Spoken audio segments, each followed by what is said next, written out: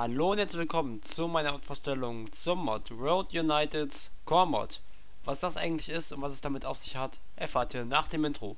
Viel Spaß!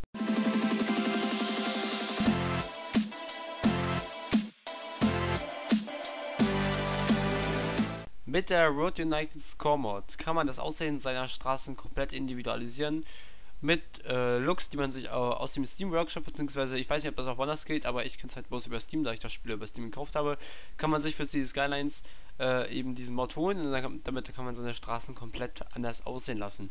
Ich habe dazu auch ein Beispiel vorbereitet gehabt.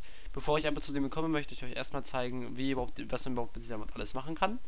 Man kann nämlich halt nicht bloß das Aussehen verändern, man kann zum Beispiel auch die Helligkeit, also trotzdem das Aussehen, aber eben dementsprechend nicht nur äh, Sachen einstellen. Und zwar hat man dafür eine Option, wenn man, sobald man den Mod aktiviert hat, kann man in die Option gehen. Hat dann hier einen Unterpunkt oder Mods-Einstellungen namens Roads United Core. Hier oben kann man wie gesagt seinen Road Theme ändern. Zum North America kommen wir dann gleich nochmal.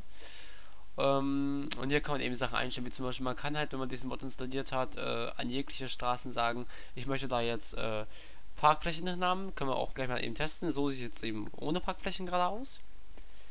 Und mit Parkflächen sieht das Ganze dann eben so aus.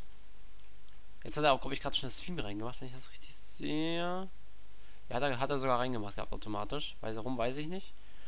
Äh, wenn wir jetzt aber hier nochmal reinmachen, gut, jetzt sieht man keinen Unterschied mehr, aber so sieht es eben auch denn beim Worlds United Core Mod aus. Beim äh, Worlds American Mod so. Ähm, wenn ich jetzt, jetzt hier wegnehme, ich weiß nicht, ob das dann wieder zurückgesetzt ist. So sieht eben das so aus, ne? Also so sieht das eben mit dem äh, North American Theme aus. Ähm, machen wir mal eben wieder raus hier. Wie gesagt, man kann eben auch zum Beispiel jetzt hier äh, die ähm, Dekoration kann verändern. Also die, also die Helligkeit, weil das ist jetzt wirklich bloß für die Helligkeit unten gedacht. Zum Beispiel, wenn man jetzt äh, dekorierte Straßen hat mit äh, Gras oder, oder Bäumen, wie zum Beispiel jetzt diese beiden Straßen hier, dann kann man dadurch die Helligkeit verändern. Man kann sie beispielsweise dunkler stellen, das können wir eben auch ausprobieren. Dafür müssen wir eben das Spiel einmal neu laden.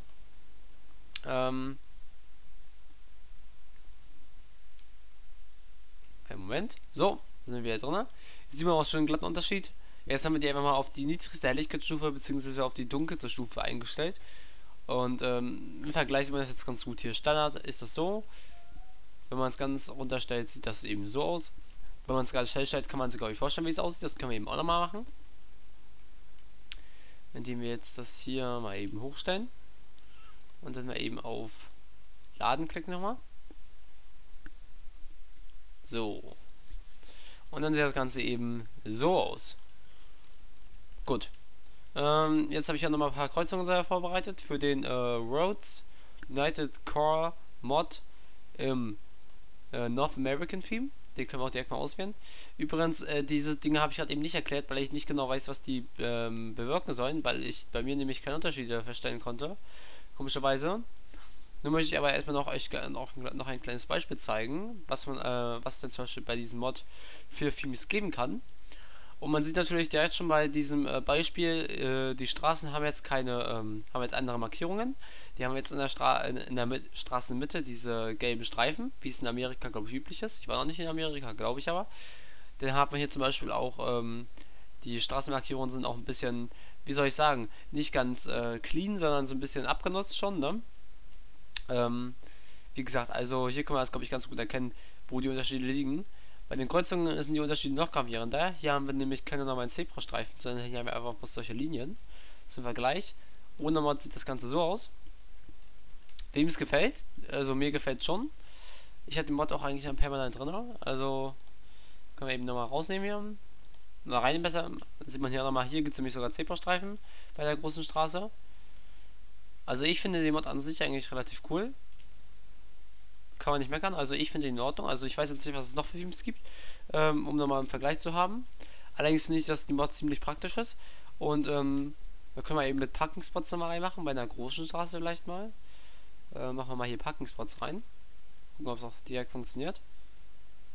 Na, ich glaube. Ja, doch, funktionieren sogar. Haben wir mal keine extra Markierungen. Die werden, werden dann praktisch hier. Das liegt, glaube ich, immer am Design. Also ich weiß nicht, ob jedes Design auch alle Sachen unterstützt. Ähm, anscheinend dieses Theme hier wahrscheinlich gerade gerade nicht. Ähm, vielleicht gibt es auch noch andere Themes, die da ein bisschen äh, anders angepasst sind. Ähm, Aber wie gesagt, zum Beispiel jetzt bei North American ist es jetzt zum Beispiel so, die Straßen sind alle ein bisschen äh, kräftiger, nicht so blass. Und sie haben eben halt andere Markierungen und äh, abgenutztere Farbenmarkierungen an sich. Okay. Ich hoffe, euch hat erstmal meine äh, Review zum, beziehungsweise meine Modvorstellung zum Words United Core Mod gefallen. Ähm, da dies meine erste Modvorstellung ist, kann es sein, dass die vielleicht auch nicht die allerbeste ist. Deshalb würde ich mich freuen, wenn ihr Kommentar, wenn ihr Kritik in die Kommentare schreiben würdet. Und würde mich freuen, wenn ihr beim nächsten Video wieder einschalten würdet. Und bis dahin verabschiede ich mich und sage bis zum nächsten Mal. Macht's gut und ciao.